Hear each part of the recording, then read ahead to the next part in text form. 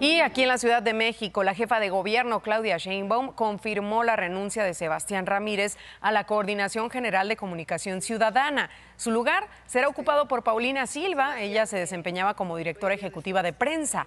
Es egresada de la licenciatura de Comunicación y Periodismo por la UNAM. Cuenta con una maestría en imagen pública del Colegio de Imagen Pública. Fue compañera también aquí en Imagen Televisión.